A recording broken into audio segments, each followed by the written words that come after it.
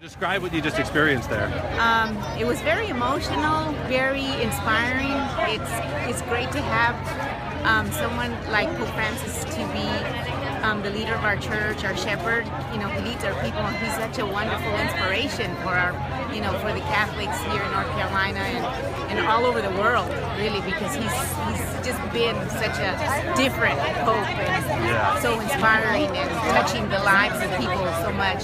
So, what were some of the emotions that came up to over you as he as he drove by there? Um, I just got very sentimental, very happy, very proud to, to be a Catholic. Proud to, you know, to um, claim my faith and my shepherd, you know. Now he's he's known to um, to change plans last minute. If he had jumped out of the car and came over and gave you a hug, what would be the one thing you'd want to say to him?